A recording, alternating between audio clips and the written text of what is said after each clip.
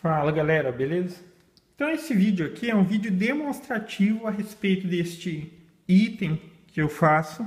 É, lembrando que eu tenho um canal mais específico para esse tipo de coisa, que é o canal feito de madeira, então se vocês quiserem estar visitando. É, para quem conhece ou já viu, isso daqui é uma catapulta, ok?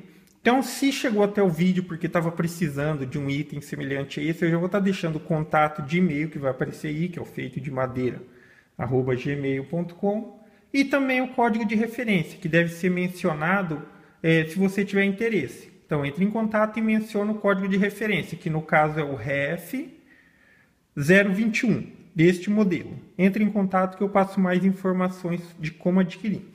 Então aqui eu vou estar falando das características básicas deste modelinho.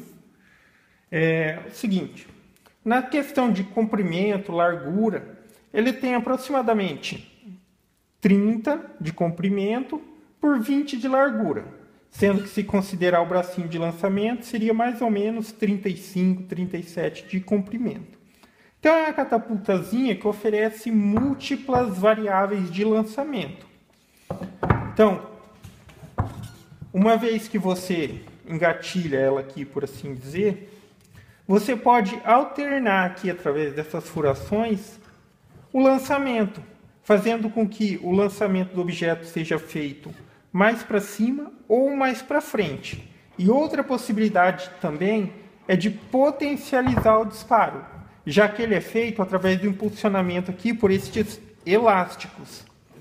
Então, uma vez que você queira potencializar este lançamento, você precisa adicionar mais elásticos. Então, você passa um por dentro do outro, passa pelo bracinho e prende eles aqui, tanto deste lado quanto este, deste outro lado, nas travinhas.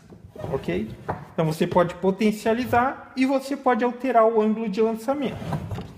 Então, isso daqui pode ser considerado um brinquedo, mas também é utilizado muito em trabalhos de física, é, que associa a física associada à matemática, ok? É, que associa é, alternância de variáveis no resultado que se obtém. Então, por exemplo, você faz um lançamento aqui e estabelece a distância, altera aqui, faz outro lançamento e estabelece a distância, e assim por diante. É, então, basicamente era isso. O e-mail de contato está aí, também tem um código de referência. Se vocês tiverem interesse, entre em contato. lembrando, visita lá o canal, se gostar, se inscreve também. E também, se gostou do vídeo, dá um joinha e se inscreve neste canal. Em breve eu estarei postando mais vídeos. Falou?